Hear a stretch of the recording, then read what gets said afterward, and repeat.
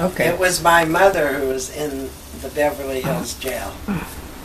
Not, not Why? us. Because, okay, she was working for a guy who was a Mennonite. I don't know if you know about Mennonites, but you know they're not supposed to uh, play cards. They're not supposed to dance. They're not supposed to do any of that. But, Drink, but it's okay to Are have they sex. the Mormons?